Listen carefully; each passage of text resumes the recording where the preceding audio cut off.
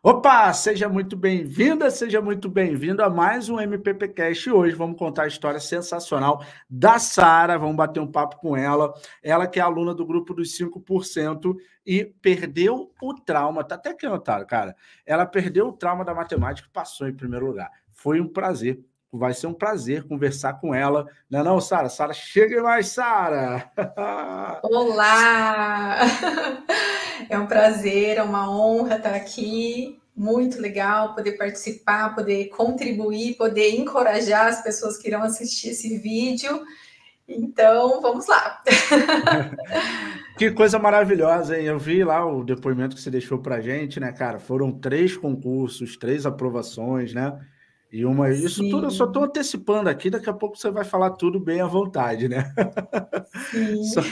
só estou dando um spoiler, famoso spoiler aqui. Então, cara, vamos lá, cara. A gente está aqui para saber a tua história. Conta aí tua trajetória, como é que foi a sua vida aí até chegar nesse resultado, beleza? E eu vou sair aqui e vou deixar você à vontade aí. Você é a estrela desse episódio aqui, beleza, Sara? Qualquer coisa é só me berrar que eu volto. Ok, vamos lá, gente. Como eu entrei nessa vida de concurseira, né? Eu sou formada em, em contabilidade, eu fiquei bem traumatizada, assim como meu TCC. Eu vim de escola né, estadual a vida toda, e nesse meu período de, de colégio estadual, assim, eu, eu, eu era muito eu era dedicada, mas não tinha aquele incentivo dos pais, uma coisa que eu nunca tive e eu não tive bons professores de matemática. Lá no início, eu tinha um professor de matemática que ele era machista, abusivo. Então, assim, a, o que a gente tentava fazer era matar as aulas dele, não estar, né? Então, eu carreguei isso ali, eu lembro, desde o fundamental até o terceirão. Então, eu estava, assim, lá ótima em, em, outras matérias, porque eu realmente era dedicada em física, em química, que são matérias complexas também, mas em matemática era um bloqueio, um verdadeiro trauma, né? Então, é, é ali contextualizando a minha história com a matemática em si, né? Então foi isso. Eu fui a, pessoa que nunca, nunca aprendeu matemática na vida. Mas até eu chegar nesse mundo dos concursos, né? Depois eu me formei em contabilidade e a minha intenção era ali para o setor privado. Então eu trabalhei por um período ali de sete anos. Não era, não era exercendo a área contábil, né? Era mais a parte financeira numa empresa de software. Só que depois eu engravidei e eu tive filho. E nesse período, é, como eu não tinha rede de apoio, quando eu fui voltar, eu decidi ficar um tempo em casa com o meu filho, né? Aí eu falei, ah, eu vou ficar uns dois anos em casa e depois eu volto aí para o mercado de trabalho. Mas quando eu fui tentar voltar para o mercado de trabalho, estava assim um período assim escasso. Era como se eu tivesse, né, que pagar ali para sair para trabalhar, porque estava muito difícil conseguir emprego, é, a, a, oferta assim estava, nossa, lá embaixo. Até que eu e minha irmã junto, nós fizemos faculdade juntas, e, e ela, ela que teve a ideia, que me encorajou, a gente viu o edital do Cefaz Paraná na época. E isso foi em 2019, setembro de 2019. E eu comecei a estudar para o Cefaz Paraná né? E a gente, ah, vai sair daqui uns seis meses, ok, a gente vai passar, nossa, seis meses estudando, não tinha, assim, a mínima ideia, né? Fui lá, me inscrevi no cursinho, pesquisando ali num curso muito bom, né? É, e, e, foi, e foi assim que eu comecei. Só que daí, a hora que eu passei ali cinco meses, e isso depois que eu me formei, toda essa trajetória, já tinha passado o quê? É, oito anos, oito anos sem estudar, Fazia oito anos que eu não estudava.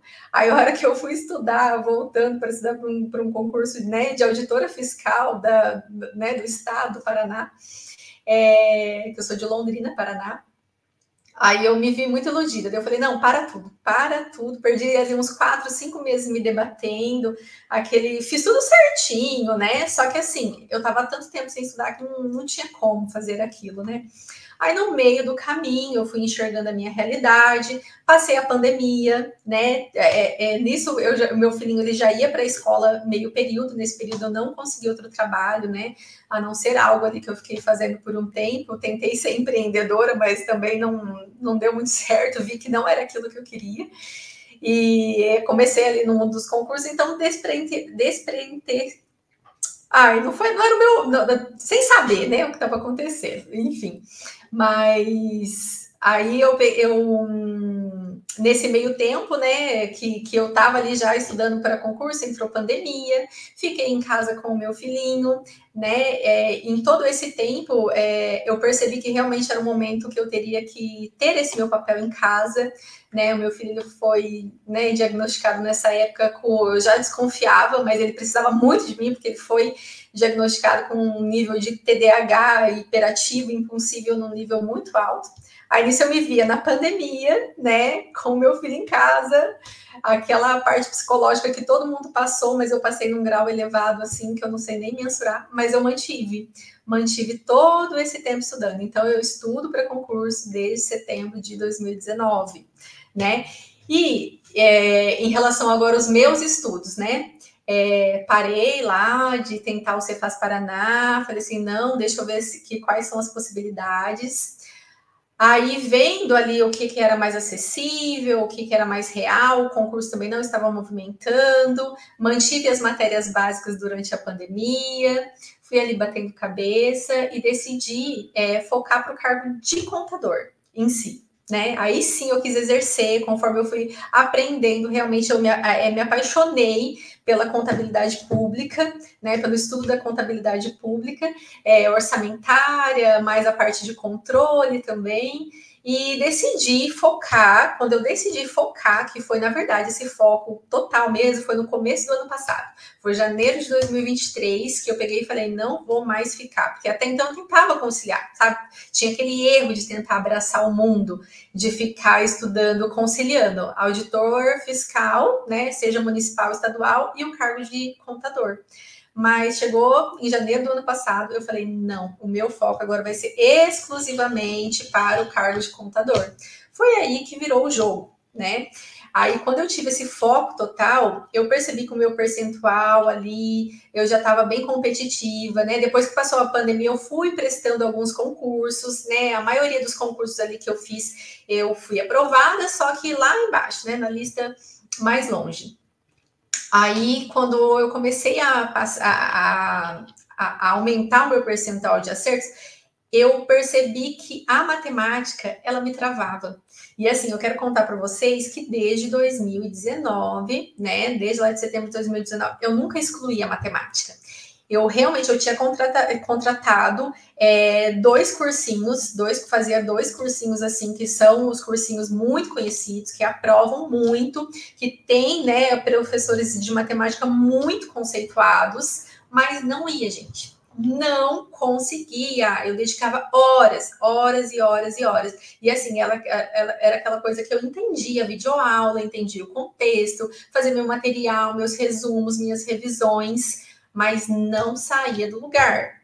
Até que eu percebi que eu, quando eu fazia simulados, tipo assim, era matemática. Simulados, e até em algumas provas que eu vi, era a matemática ali que me, me tirava, me tirava assim dos primeiros lugares, né? Porque para o cargo de contador, geralmente sai uma vaga. A maioria, assim, é uma vaga. Então, eu tenho que estar ali brigando por uma vaga, né? E, assim, é, para ficar no cadastro reserva, eu tenho que ficar num, numa colocação assim boa, né? Até o terceiro lugar, tipo, no máximo.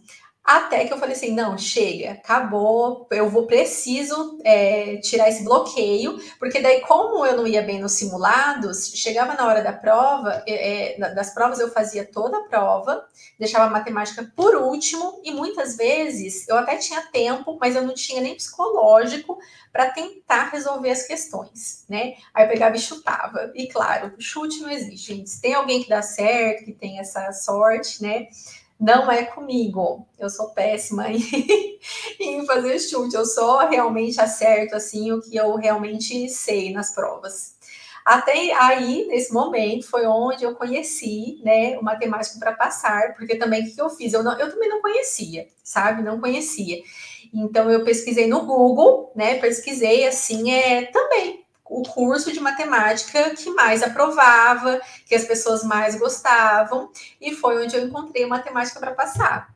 Aí e foi assim, hora, quando eu conheci os vídeos do YouTube, que eu comecei a assistir ali alguns, Eu falei, não, se isso daqui já está dando essa, essa já está virando a minha visão dessa forma, né? Só pelos vídeos no YouTube, eu falei, não, eu já vou contratar.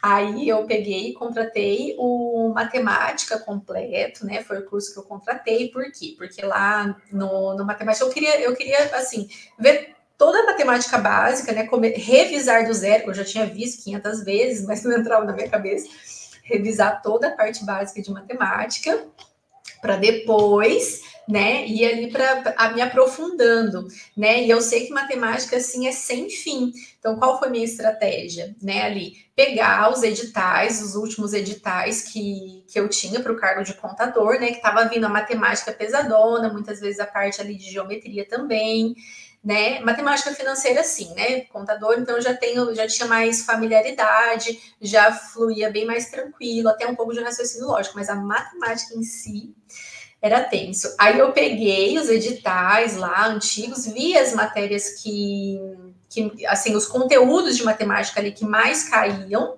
né? E, e fui por esses, né? Assim, assim, tentei ir por esses onde eu não, onde eu ia precisar somente da matemática básica.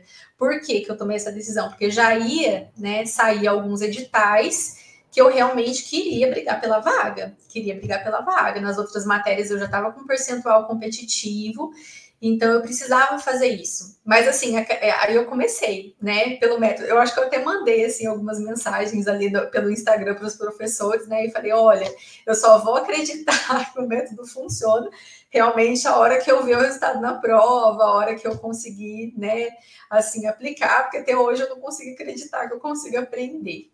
Então, mas o que eu achei assim é, muito especial foi que nessa trajetória, quando eu recebi assim, quando eu vi o edital, o meu edital de matemática, porque outra coisa assim que eu não sabia, gente, eu olhava um edital e eu não, não conseguia nem interpretar. Então, assim, tinha lá um conteúdo, um determinado assunto escrito no edital, e a hora que eu olhava lá das aulas de matemática, muitas vezes eu não sabia nem interpretar o que era o que.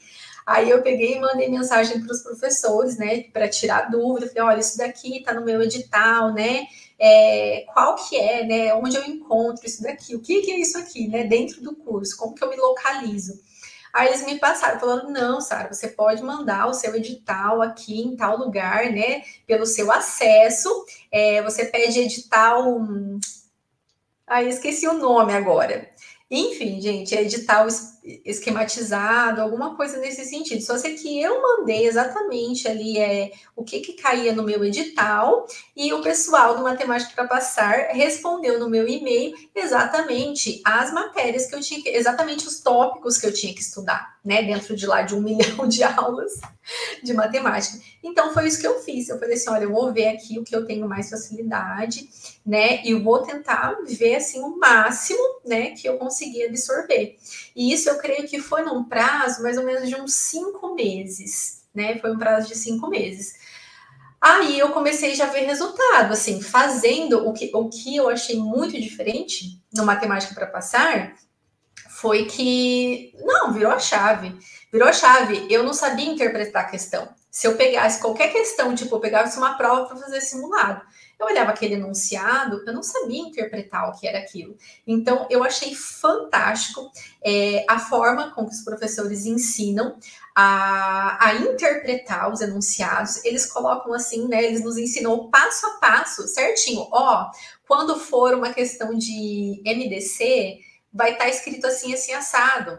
Quando for uma questão de probabilidade, sempre vai ter a palavra probabilidade, né? Tal, de tanto em tanto tempo.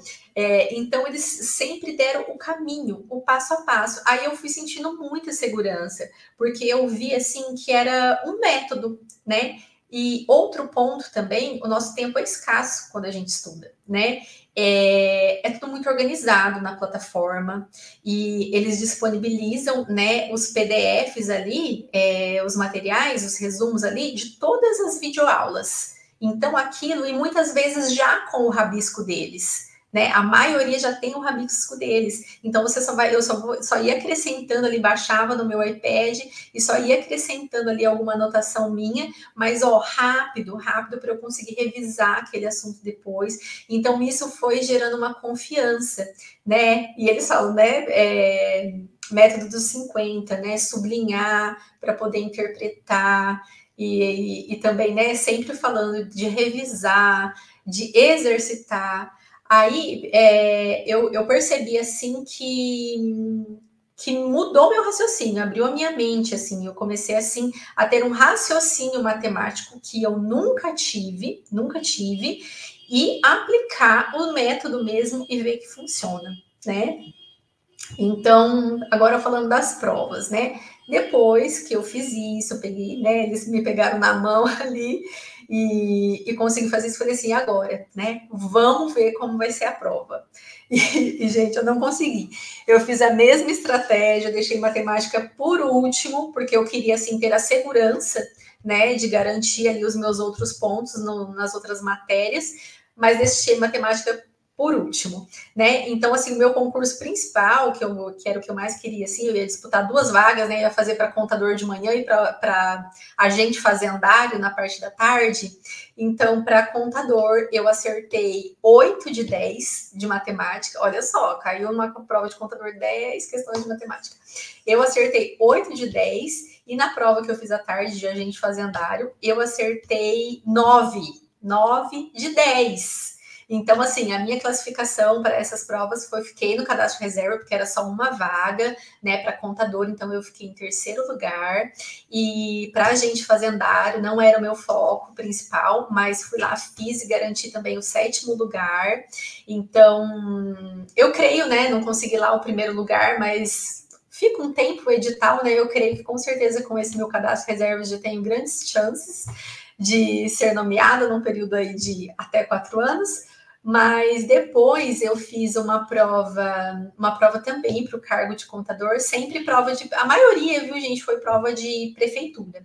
Prefeitura e em Arapongas, que foi a prova, a, a última prova que eu fiz no ano passado, é, foi para o cargo de contador, tinha apenas uma vaga também, e eram seis questões de matemática, e eu consegui gabaritar. Ai, meu Deus. E, gente, é, vou abrir aqui o coração de uma forma até mais profunda para encorajar vocês mesmo, é, que não é fácil. Não é fácil, não é fácil assim para ninguém, né? Nesse período do ano passado, né? Além assim da, das dificuldades com o meu filho, sempre tendo que buscar durante durante a aula, né? Agora ele estava ali no, no infantil ainda, então, saindo para buscar, indo para a escola, fazendo terapias, muitas, muitas coisas extras, assim, tem na minha vida. Eu não trabalho fora, né?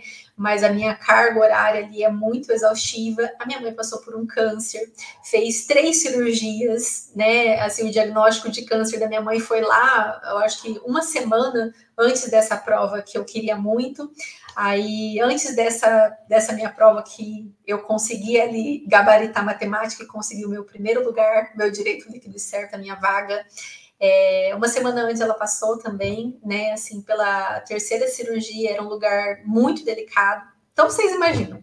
Imagina o psicológico aqui da pessoa, como que estava.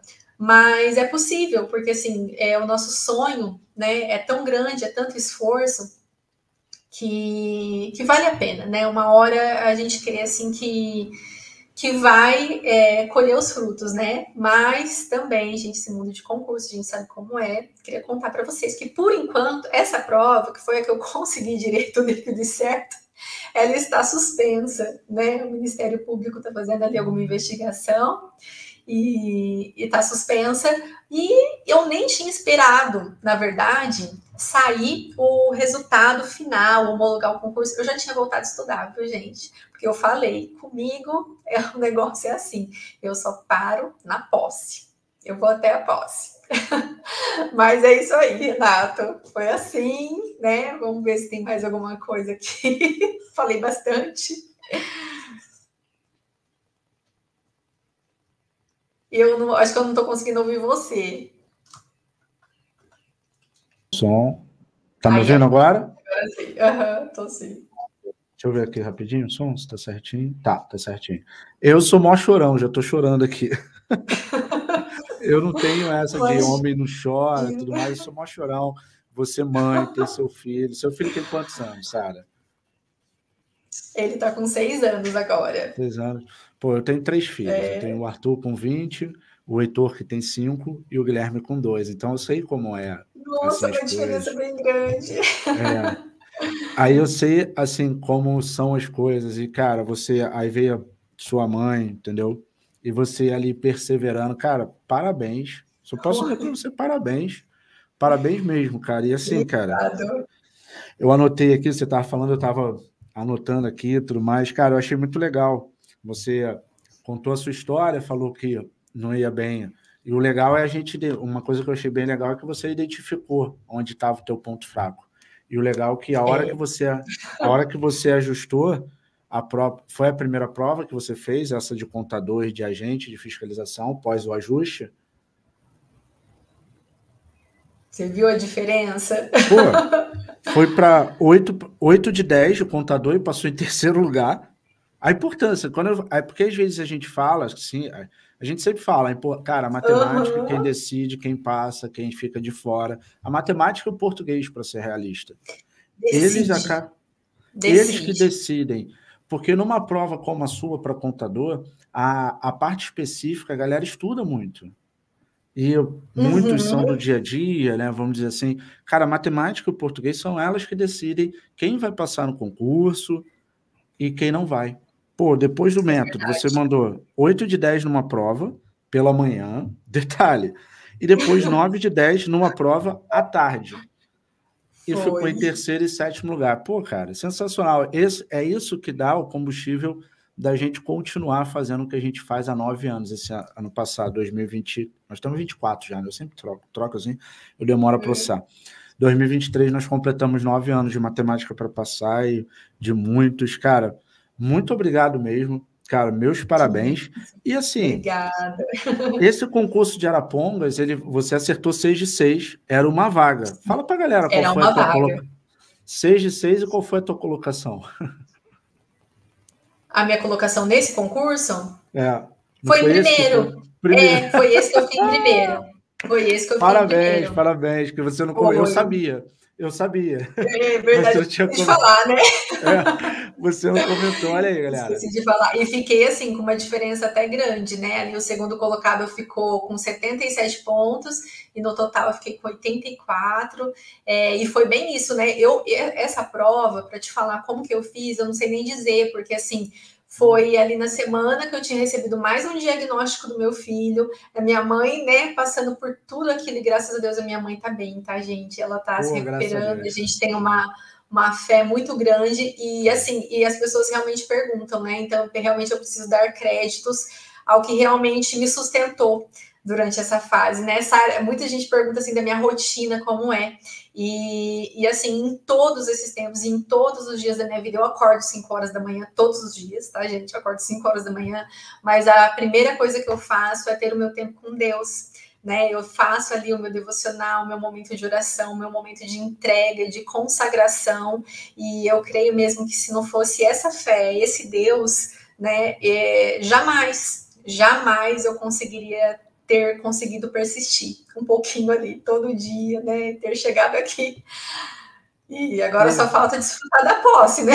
Não, vai chegar, vai parar, vão, vão liberar o concurso e vão te chamar. E literalmente, quando você falou, não sei como eu consegui, né? Acho que chegou a comentar isso, você vai falar, cara, foi Deus. E antes de você foi. falar toda essa parte do seu do acordar, o seu devocional tudo mais, lá em casa a gente tem o hábito de fazer à noite, antes de dormir. Né? Assim, é, para mim é mais difícil. Quando eu estou em casa é muito bom, as crianças adoram, a gente faz na cama, tudo mais. E assim, é, cara, ele que sustenta, né, cara? Porque você passando por esse momento, sua mãe fazendo a cirurgia, e você foi lá, fez a. Óbvio, não adianta você. Muita gente, eu vejo muita, muita gente pede a Deus e não faz por onde também, né, cara? Ele capacita, Sim. mas tu tem que fazer por onde. Ele ajuda, mas se tu não fizer a tua parte. Tu fez a tua parte, foi lá 6 de 6, primeirão, e tua mãe, graças a Deus, se recuperando, já deu tudo certo, cara, sensacional. Pô, eu fico muito feliz, muito feliz mesmo. Cara, eu queria te fazer uma pergunta aqui, ô Sara. você falou que viu, procurou o curso que mais aprovava em matemática, que explicava melhor, tudo mais. E aí foi mesmo com aquela certa desconfiança, pô, será que vai ser para mim mesmo? Anos nas, nas trevas, né? Vamos dizer assim, será que vai Exatamente. vir a luz? E aí, quando tu comprou, cara, como é que tu se sentiu no momento assim que tu fez a compra? Fala aí pra gente. Olha, eu fiquei assim admirada, porque quando eu fiz a compra, eu entrei e eu falei assim, gente, era exatamente o que eu queria. assim, relacionado à organização, a tempo e, e assim, ao método mesmo, né? De passar ali o caminho mesmo para a gente do que a gente tem que fazer, né? E sempre assim, sempre é, vocês assim dando aquela energia, né? Então eu passei a estudar matemática assim, é, eu colocava ali algumas horas, né, na semana, só que para mim era sempre uma luta, porque, né, a, a, a seu trauma ali, né? E vocês já começava sem trauma, sem trauma, zero trauma, né? Zero trauma, zero trauma. Típica de vocês, zero trauma. Eu falava eu, né? então eu come, passei a estudar diariamente, eu incluí no meu ciclo diariamente. falei assim, não, eu vou ali um tantinho, vou todo dia né, para eu conseguir avançar, porque querendo ou não, matemática, assim, você, é, pelo menos eu, né, que tem mais dificuldade, não sou da, de exatas, então demoro mais para aprender, né, então eu, eu, eu, vejo, assim, que, que realmente eu precisava estar tá ali pagando o preço, né, e, e, tem bastante coisa ali para eu ver ainda, eu não vou abandonar uhum. vocês ainda não, viu? Com não. Vamos para mais aprovações, para a gente estar tá aqui para isso mesmo. É... É, quando uma galera que está assistindo a gente aqui, quando ela falou que chegou no curso, tinha aula para caramba, é porque ela está no curso completo, né? E aí Isso. o que acontece? No curso completo ele é completo, ele te leva do básico ao avançado, com todo o conteúdo do ensino fundamental, do médio, só que tem uma coisa que ela não lembrou o nome, a gente chama de rota de estudos personalizada, que é isso. você manda exatamente isso que ela usou. Ela falou, ela esqueceu o nome, falou um outro, até falou um outro nome que agora eu não lembro, mas é a, a rota de estudos personalizada. O que, que é isso? Você manda lá no suporte da dúvida do aluno e a gente monta uma rota para você sair do zero até o mais avançado só com o que serve no seu concurso sem você Isso. se preocupar. Inclusive, fica até o final, porque eu vou falar com você como você pode entrar na mentoria Tria de MPP, que tem tudo isso, aí eu explico mais para o final. Agora a gente vai batendo papo. Você que está assistindo, legal. você que está assistindo o nosso, nosso episódio aí, fica até o final, que aí eu falo com você sobre a mentoria Tria de MPP, né? Pô, bem legal. E, Sara, fala para gente aí, cara, eu gosto de escutar do aluno, porque muita gente pergunta, ah, pô, que, que esse método tem de diferente? Qual o diferencial dele? E eu acredito que ninguém melhor do que você, que é uma aluna com, aprovada, com porra, uma história linda de sair daquela pessoa com trauma, com tudo que você contou para gente, para ter esses resultados. Para você, Sara, qual o diferencial do método? Fala aí para gente. Olha, é, como eu já mencionei, eu acho que uma, uma plataforma muito organizada, né? É, é, os professores, claro, eles têm uma didática, né, para nos ensinar, que é uma didática para a gente passar em concurso, né? Muito diferente do que a gente aprende na escola em si, aquela matemática, né? Ou seja, é direto ao foco, é, a gente não perde tempo, porque sempre são os macetes né? A gente está o tempo todo ele, aprendendo macete com os professores. Então, esses macetes nos fazem ganhar tempo, né? Agilidade. O nosso raciocínio em relação à matemática muda, né? Devido a isso. E, e você vai ver, você vai ver no resultado. Sempre também depois das aulas. É, é disponibilizada uma bateria de questões, né, para a gente já ali e já aplicar e já ir nos testando. Então, ali você já consegue avaliar que você está progredindo, que você realmente absorveu o conteúdo, né? E também eu acho que tem, tem um bônus bem legal, que são 700 e tantas questões, né? Onde a gente consegue aplicar também ali, reforçar todo o conteúdo, porque, né, a gente precisa revisar para conseguir aplicar aquilo. E isso faz com que, a hora que a gente vai para um site de questões, a gente consiga aplicar, né? Ali tudo, todo, o método. Só que é, é o caminho. O que, eu, o que eu acho diferencial mesmo é a parte de interpretar mesmo o enunciado das questões, esse passo a passo que eles nos dão para executar, os macetes, né, ali para poder ganhar tempo na hora de, de fazer as questões. E, e, a experiência deles, né, que eles nos passam, a segurança, assim, é, o zero trauma é o que faz toda a diferença. Ah, sensacional, cara, sensacional. Eu gosto muito de saber, pra, porque isso mostra pra gente que a gente está no caminho certo, né? De seguindo de tudo que a gente acredita, de tudo que a gente trouxe da nossa experiência. Pô, eu e o Marcão, a gente dá aula desde 2004 aqui. Hoje eu tenho 30, 30, 39. é que eu fiz aniversário há pouco tempo. ainda buguei. Ainda, eu sempre ah, eu eu sempre dou uma bugada quando vira o ano e quando eu faço aniversário. Eu também. Vira o ano, eu faço aniversário 8 de janeiro. Então, tipo assim, vira o ano 1 de janeiro, uma Meu semana Deus. depois eu tô fazendo aniversário. Então, assim, eu fico muito bugado. Então, 39 anos, né?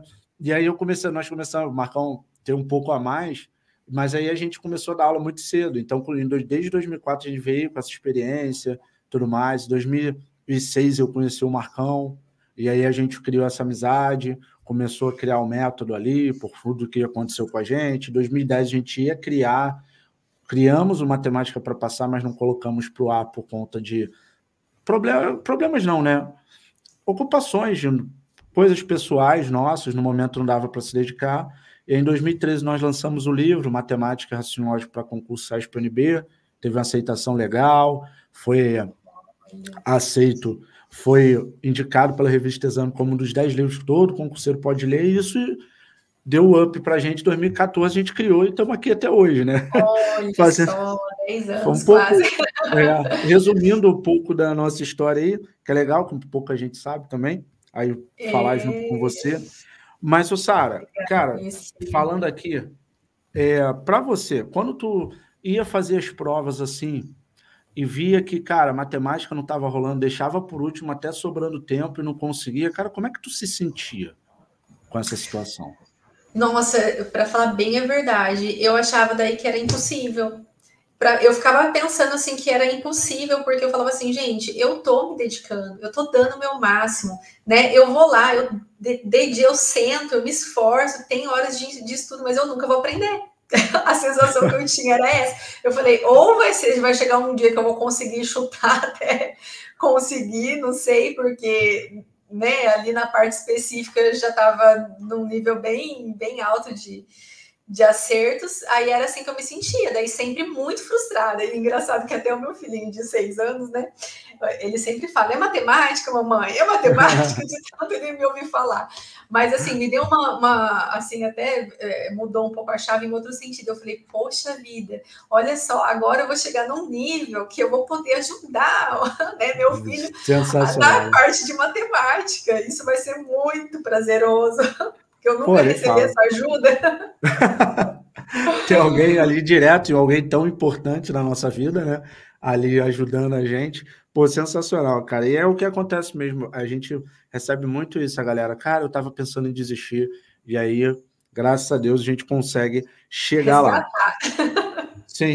É, Sara, você falou do método 50, que a gente fala revisar, exercitar, que são as técnicas da tríade do método MPP, do nosso, do nosso método de ensino. Cara, mas qual das técnicas, assim, ou frase nossa, zero trauma eu já sei que marcou, mas qual delas, assim, mais qual dessas frases mais te marcou assim, quando tu tava, pô, será que vai? Tu lembrava dela e dava o ânimo? Fala aí pra gente.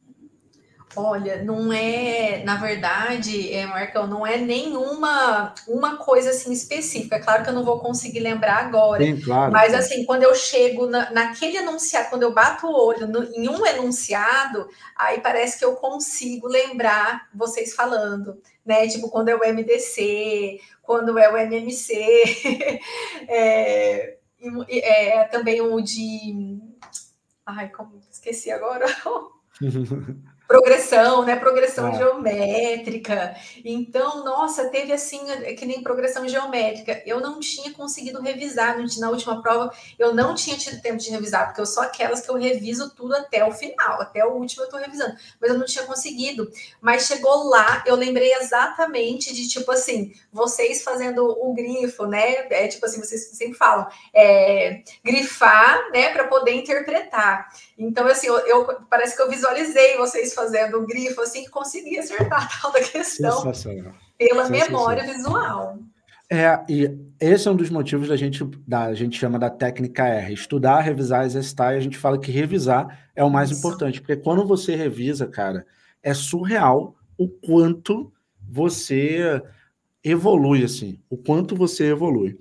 Cara, a gente está caminhando aqui é. para nossa reta final, e agora, para a gente, antes da gente finalizar aí, eu queria que eu vou deixar você aí, você, eu falei, você é a estrela aqui, você, eu queria que você desse dicas aí, cara, o que que tu pode ensinar para quem está assistindo aí, que tá assistindo aqui com a gente, dá a dica para galera aí de estudos, porque você chegou lá, né? Ah, mas eu não tomei posse ainda, cara, mas está aí, cara, tá. concurso como você me... não é, mas como você mesma falou, cara, concurso para contador é concurso pesado, por mais que seja para ah, é de prefeitura, é pesado, é uma vaga, uma vaga só, e pô, tu conseguiu ir um, uma vaga, se é a primeira colocada, no outro se é a terceira, então assim, a chance de passar, de ser chamadas nesse, é muito grande, e como você continua estudando, a chance de você ser aprovado é muito grande, está na frente de muita gente. Então, deixa eu parar de falar, que eu falo para caramba, você que tem que falar, fala aí para a galera o que, por que, que tu pode ensinar aí, dar dica de estudos para quem está assistindo para gente? Manda aí.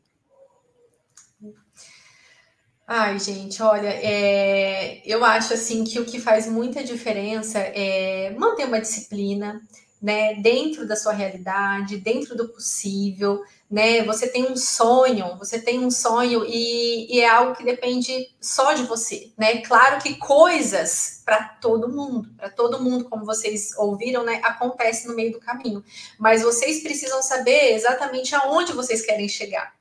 Né? Então, assim, é o que eu sempre falo. Quando você vai parar, né? Que nem a família, as pessoas que estão assim, que me acompanham perguntam. Então, eu falo quando eu tomar posse, né? Quando eu tomar posse, eu paro. Então, é, decidir, definir um cargo. Um dos meus erros, tá? Que eu deixo aqui para vocês foi estudar para duas áreas juntas, né? Eu estudava para auditor fiscal e estudava para o cargo de contador.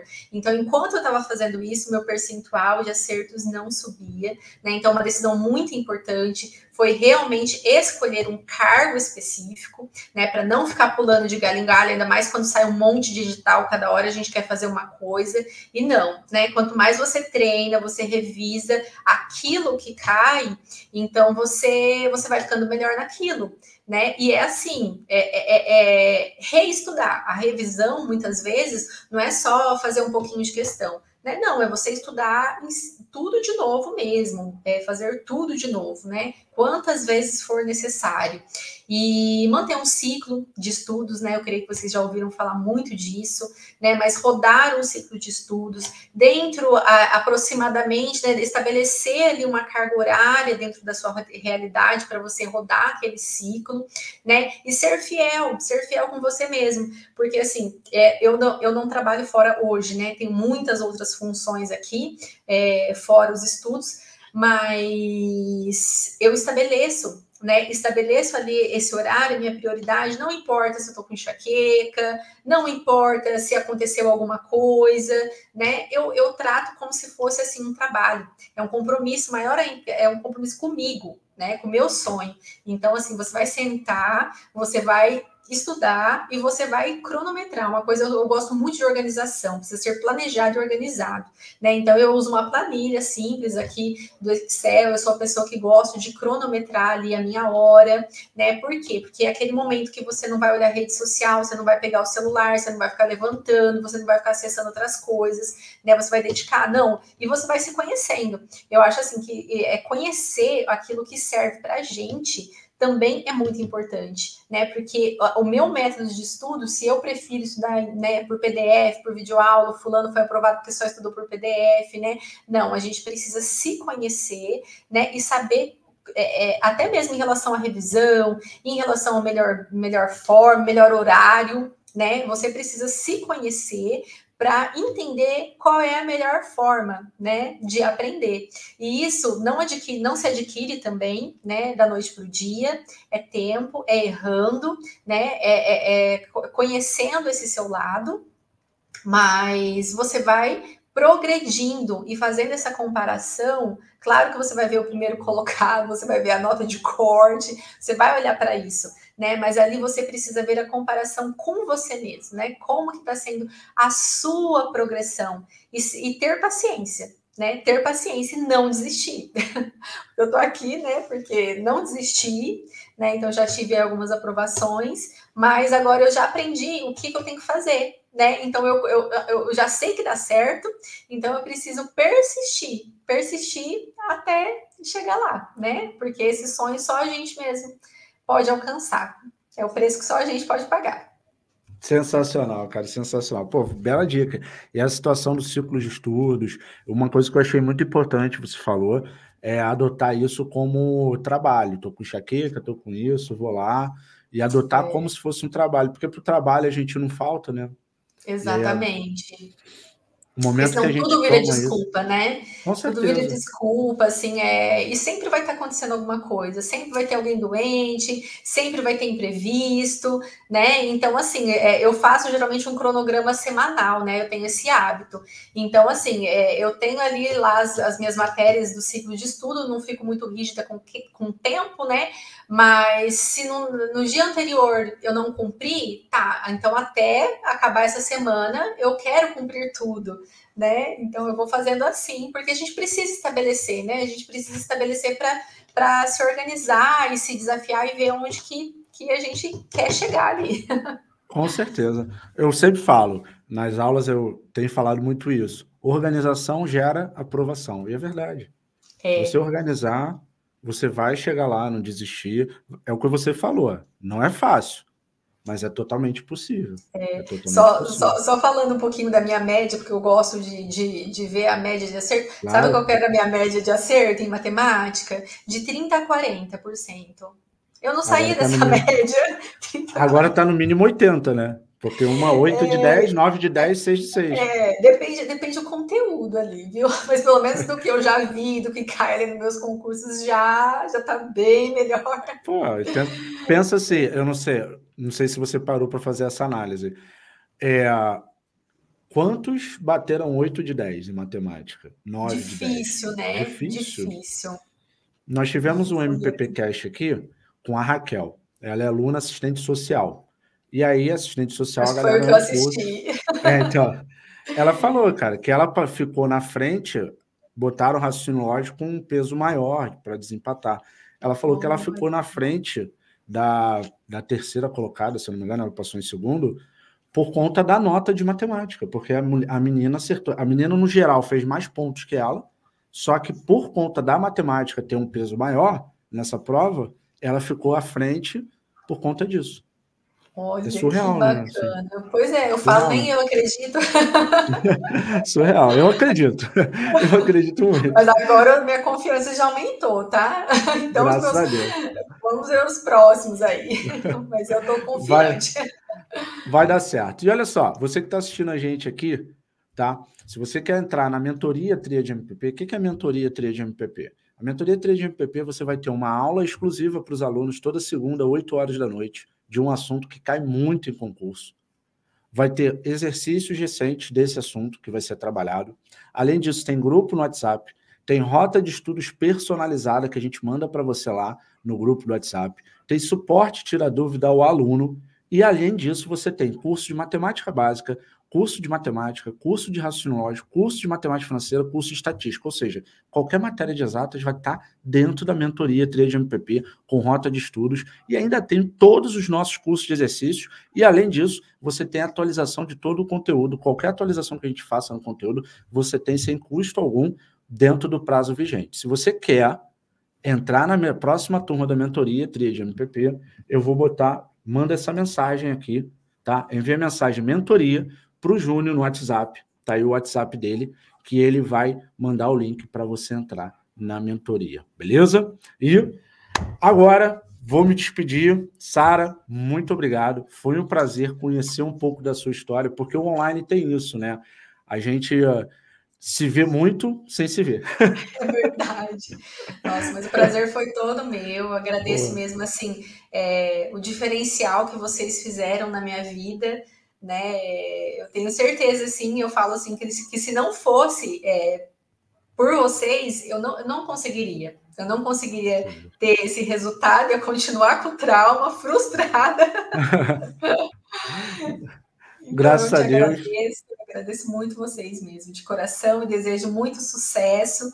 Né? Adorei a proposta aí da mentoria, já estou de olho. Não, o Júnior vai entrar em contato com você. Nossa, adorei, adorei. É um formato de, é um formato novo esse, né? Sim, sim. Da mentoria. Sim. Muito bacana. Sim. É novo, é uma novidade que a gente trouxe aí para esse ano 2024. Eu sei que o vídeo vai ficar para a eternidade, mas a gente está em 2024, vamos falar em 2024, né? Isso aí. a gente está começando essa mentoria, o formato vai ser assim muito legal, tá? E é, o curso Tríade, a gente já tinha o curso Tríade MPP, só que ele não tinha essa mentoria, que é a aula, a gente está junto ali e tal. Então, o curso virou mentoria. Se você é aluno do curso, fica tranquilo que ele automaticamente, o seu curso vai virar mentoria, sem custo algum para você. Isso é o mais importante. Ah, beleza? Obrigada. Família, Sara, mais uma vez, muito obrigado, tá? Muito obrigado. Se você não é nosso aluno, aproveita e entra na mentoria. Se não está inscrito no nosso canal, inscreva-se, ative as notificações. Nós temos mais de 5 mil vídeos aqui para ajudar quem não tem condição de fazer um investimento agora com a gente. Sara, mais uma vez, muito obrigado. Que Deus abençoe absurdamente agradeço, a sua vida, amém. Vocês a da sua família. E estamos juntos para sempre. Obrigada. Beijo. Beijo, tchau, tchau.